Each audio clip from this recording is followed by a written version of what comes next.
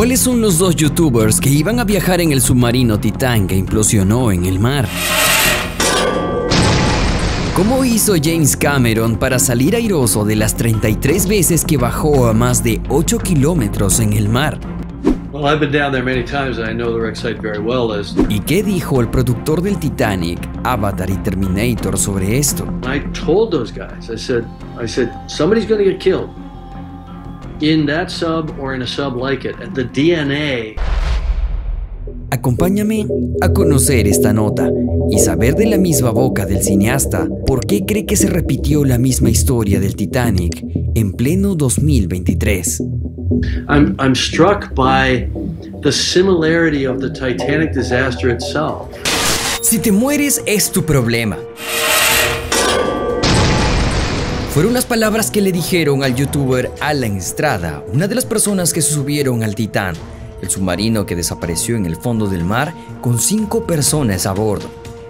Nuevas declaraciones dejan estupefactos a seguidores de las redes sociales, ya que Titán tenía como objetivo llevar a gente adinerada al lugar de los restos del famoso crucero Titanic, a cientos de metros bajo el mar, pero para desgracia de todos, el submarino quedó completamente destrozado luego de que se quedara sin oxígeno y explotara por dentro. Que desarrolla la explicación de cómo fue destrozada la nave de un extremo a otro en menos de 30 milisegundos.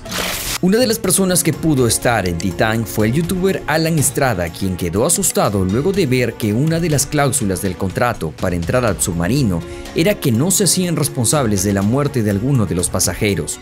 Firmamos release de varias hojas, no recuerdo cuántas, en los cuales explica cada uno de los riesgos a los que corres, incluyendo el perder la vida. Como dato curioso, Alan no fue el único youtuber que fue invitado a ser parte de esta expedición en Titán.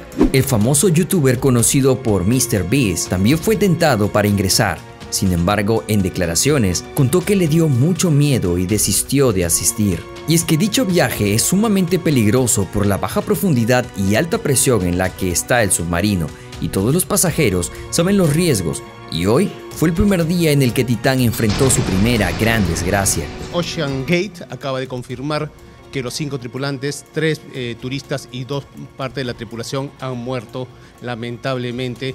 Pero esta no es la primera vez que un submarino con misión al Titanic se pierde en el fondo del mar. Lo mismo le pasó a una persona que muchos conocerán, el propio James Cameron, director de la famosa película El Titanic y Avatar, quien quedó perdido durante 16 horas, pero que pudo ser rescatado con éxito. James Cameron había bajado un total de 33 veces a ver al Titanic con sus propios ojos y saliendo ileso en todas ellas. La diferencia es que él usó un submarino en el que solo cabía él, pues el Titán era más grande, pero no era 100% seguro. I've been made 33 dives. I actually calculated that I've spent more time on the ship than the captain did. Cameron también fue en busca de lo que había en el fondo de la fosa de las Marianas, un lugar con mucho misterio y teoría sobre lo que hay en ese abismo, y el director no dudó en bajar y controlar su propio submarino. Así que aquí estoy en el lugar más remoto del planeta. Hace 11 años James Cameron ayudó a diseñar los primeros prototipos de lo que hoy sería el Titán, buscando materiales que pudieran resistir las enormes presiones de las aguas a 11 kilómetros bajo el mar. El acero estará a punto de ceder, el titanio estará a punto de ceder en estas presiones. Esto parecía algo de proporciones enormes. A inicios Cameron probaba el submarino a distintas distancias de la superficie. Al inicio eran mil metros y luego esa cantidad subió a 4000. Primero mil metros, o 3.300 pies. Esta distancia es mucho más debajo de lo que está el Titanic, por lo que podemos darnos una idea de lo profundo que el submarino Titán se sumergió con los pasajeros. 4.000 metros, cuando tratan de llegar a 11.000 metros, pues 4.000 metros no suena mucho, pero sucede que es más profundo a lo que está el Titanic. Luego de unos días Cameron decidió llegar a los 8 kilómetros de distancia, y aunque las cosas estaban yendo bien, el submarino ya presentaba algunas fallas. Al avanzar hay cosas en el submarino que comienzan a fallar y a funcionar mal, una a una. Lo peor es que mientras más profundo llegaba, el submarino fallaba mucho más rápido. Y la manera que fallaba empeoraba progresivamente a medida que alcanzaba a mayor profundidad. Cuando llegó el día de la verdad, Cameron se sumergió con éxito y en los primeros 30 minutos ya estaba a una altura mayor que la del monte Everest tan profundo como la altura del monte Everest.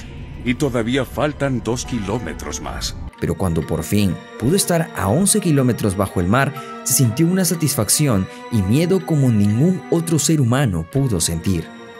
Y me quedé ahí y pensé, aquí estoy, siete años. Luego de recoger algunas muestras del suelo, el submarino presentó algunas fallas en su sistema, así que Cameron decidió regresar. El submarino contaba con dos pesos de 300 kilos que hacían que se hundiera, por lo que cuando la soltó, el submarino salió disparado como un cohete a la superficie. En ese momento el sumergible era un cohete y yo sentí como avanza un vagón de tren. Durante una entrevista acerca del desastre del Titán, James Cameron no dudó en comparar este hecho con el fatal accidente del Titanic, pues hay una gran similitud en cuanto a las advertencias de peligro que se acercaba a cada nave. The similarity of the Titanic disaster itself. Recordemos que el capitán del Titanic fue advertido varias veces por los icebergs que había en su camino, pero él continuó y pues ya todos sabemos qué ocurrió aquella vez. Where the captain was repeatedly warned about ice ahead of his ship, and yet he steamed at full speed into an ice field on a moonless night. Lo mismo pasó esta vez con Titán, pues todos habían sido advertidos de lo peligroso que era este viaje y coincidentemente el desastre del Titán ocurrió en el mismo lugar que el Titanic. For a very similar tragedy where warnings went unheeded to take place at the same exact site. Cameron aseguró que el lugar donde está el Titanic es demasiado peligroso para navegar por la increíble presión del agua. El propio director ya les había advertido que el submarino no estaba en las condiciones de navegar y sabía que algo malo iba a pasar. I told those guys, I said, I said, somebody's going to get killed in that sub or in a sub like it. And the DNA Cuando Cameron se enteró de la noticia de Titán, inmediatamente supo que ya no había ninguna salvación para ellos. El director sabía que los tripulantes de ese submarino estaban viviendo una pesadilla, pues él también lo experimentó alguna vez. zero surprise to me today.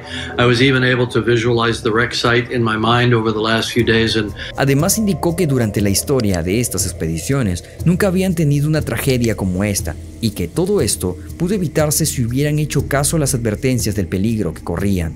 this was such a preventable tragedy. We've never had a tragedy like this in the entire history of deep submergence. Cameron también aseguró que hubo un gran tiempo entre los años 60 y hasta hoy en día para mejorar los sistemas de los submarinos y hacerlos más seguros. Para él, no hay excusa alguna para lo que sucedió, y todo se resume en que el submarino no estaba preparado para este tipo de expediciones. There is no excuse for what happened here, and I, I find it appalling and tragic. Algo importante que dijo Cameron es que la empresa encargada de la expedición no estaba certificada correctamente con la seguridad que se requería, por lo que le parece raro que la gente haya pagado sabiendo esto. But in any case, they never went through any certification process. So that to me is misrepresenting themselves to their, their paying clients. Y como última lección para las personas que quieren tener este tipo de aventuras, deben ver bien qué empresa está diseñando el submarino y si cumple con todos los protocolos de seguridad para evitar pagar 220 mil dólares para ir directo a una muerte segura. One of the lessons is caveat emptor. Really look carefully. If you're going to get into a sub, look carefully at the company that designed the sub, look at its certification, and all those things. Sabemos que los tripulantes perdieron la vida a causa de la implosión del pequeño submarino, pero si no sabía cómo es una implosión, un capitán de la marina explica que es como estrujar fuertemente una lata de cerveza vacía, lo que significa que los tripulantes fueron aplastados violentamente por las inmensas fuerzas del mar. Una implosión es como coger una lata de cerveza vacía y estrujarla. Eh, es, es tan, tan crudo como eso. Ahora, si querías saber cómo es un viaje hacia el Titanic en el mismo submarino que estuvieron las víctimas, el youtuber Alan Estrada nos muestra la vez que se sumergió y la experiencia que vivió en este peligroso viaje. El sumergible tiene capacidad para cinco personas, un piloto y un copiloto y tres civiles con el título de especialistas de misión, aunque en realidad somos turistas. Dentro del submarino no se puede estar sentado o parado, pues no hay bancas, simplemente estás en el piso. El sumergible no es particularmente cómodo, pero voy mentalizado a estar por lo menos 10 horas encerrados en él. El objetivo del Titán es llevar a los pasajeros a las dos zonas donde están los restos del Titanic, pues recordemos que se partió en dos y sus dos partes se encuentran a 600 metros entre sí. El barco se partió a la mitad al hundirse, por lo que la proa y la popa están separados por unos 600 metros. Para llegar a la otra parte tienen que pasar por el campo de escombros donde se encuentran varias partes del crucero y es algo difícil de pasar, pues tienen que tener cuidado en que alguna parte no dañe el submarino. Lo que ocurrió con Titán es una gran pena, pero eso no quita que los responsables de estas muertes son los que permitieron el viaje pese a las advertencias y cinco personas pagaron sus decisiones. Let's call it poor choices. I don't want to say reckless, but let's say poor choices that were made. Espero que te haya gustado esta nota al igual que a mí. Si te gustó no te olvides darle manito arriba y suscribirte al canal, activando la campanita para estar al tanto de más notas como esta. Mi nombre es Carlos y nos vemos en un próximo video. Cuídense mucho. Chao.